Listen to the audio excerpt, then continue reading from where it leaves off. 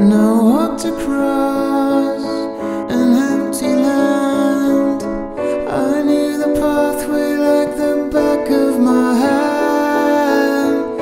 I felt the earth beneath my feet, set by the river, and it made me complete.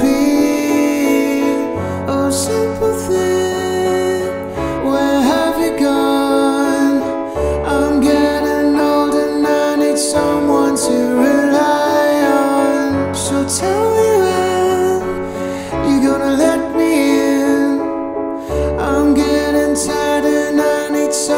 to be